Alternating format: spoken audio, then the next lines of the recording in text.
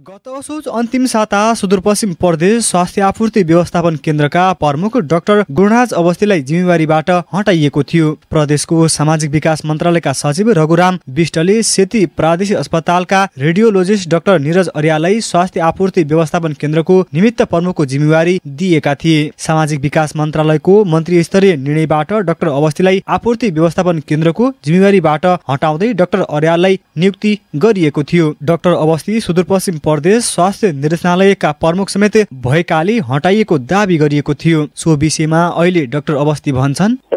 कोही थिएन भने मलाई धेरै पटक बोलाएर जिम्मेवारी लिदियो भने हो म आफ्नै काम धेरै छ त्यो समयमा। अहिले मलाई जो छ त्यो ठिक छ। अन्य के गर्छ मैले के भन्नु छैन यसमा? त्यो त अब सरकारले गर्ने निर्णय हो मन्त्रीले गर्ने निर्णय हो जे मन लाग्छ गर्छ उहाँहरूले आउँछन् किन पाउँदैन एउटा मन्त्रीले दुई दुई तिनवटा मन्त्रालय हेर्दा आउँछन् कर्मचारी पनि हेर्दा के प्रदेश स्वास्थ्य आपूर्ति व्यवस्थापन केन्द्रमा एघारौँ तहको दरबन्दी भए पनि सामाजिक विकास मन्त्रालयले भने दोहोरो जिम्मेवारीको कारण देखाउँदै डाक्टर अवस्थीलाई हटाएको दावी गर्दै आएका सचिव विष्ट अहिले आफै दोहोरो जिम्मेवारीमा रहेका छन्।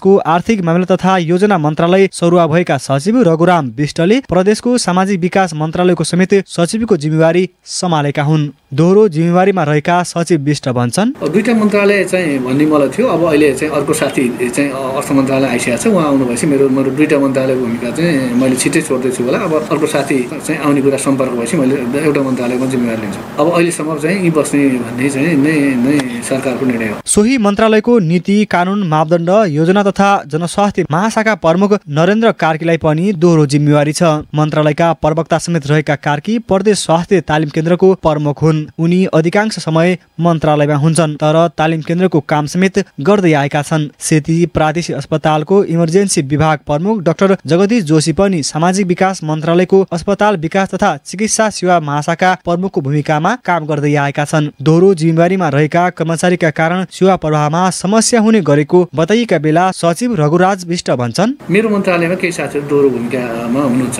सबै मलाई कन्ट्याक्ट त छैन खास गरी कि कि जहाँ चाहिँ जनशक्ति छैन काम गरिरहनु पर्छ त्यस्ता चाहिँ हामी दोहोरो भूमिका रहेको छ। यसरी एउटै व्यक्तिलाई दोहोरो जिम्मेवारी दिँदा कार्य सम्पादन प्रभावित भएर व्यवहार बढ्दा समेत सरकार पदपूर्ति गर्न ढिलाइ गरिरहेको छ। प्रदेशका अन्य मन्त्रालय तथा कार्यालयहरूमा समेत दोहोरो जिम्मेवारी दिइएका छन्। दिनेश खबरका लागि कमल साउद धनगढी।